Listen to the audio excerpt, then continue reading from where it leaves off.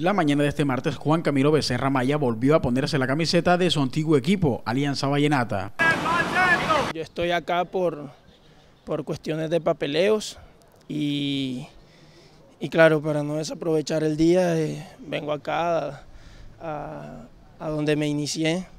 El tanque vallenato aprovechó su estadía en la ciudad para visitar, saludar y entrenar con sus viejos amigos. Nos sentimos eh, llenos de de regocijo porque es una persona que se ha hecho a punta de esfuerzo, de sacrificio y que esperamos que todos esos frutos eh, se vean reflejados eh, en el fútbol internacional. Como un excelente jugador, desde, pequeño que he venido jugando con él siempre ha mostrado una gran fortaleza en el fútbol y tenerlo como compañero siempre ha sido un privilegio.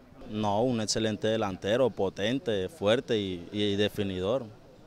El delantero que jugará desde el mes de julio con el Granada de España se mostró contento por estar nuevamente en su tierra. Además, contó cómo recibió el llamado a la selección Colombia Sub-20 y el hecho de ser nuevo jugador del Granada.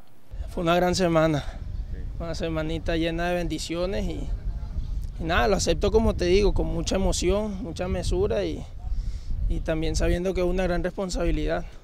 Esta tarde el delantero de 18 años regresó a Barranquilla, donde se incorporará nuevamente a su equipo Unidese Fútbol School.